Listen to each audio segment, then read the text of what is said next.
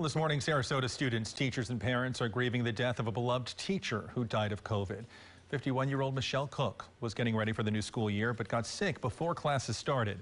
She ended up in the ICU and she passed away. Cook's sister says she loved teaching. She just loved teaching. She loved the kids.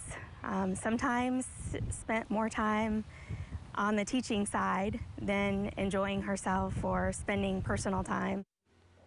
In Facebook posts before her death, Cook wrote, Don't be fooled into thinking your health is stronger than COVID.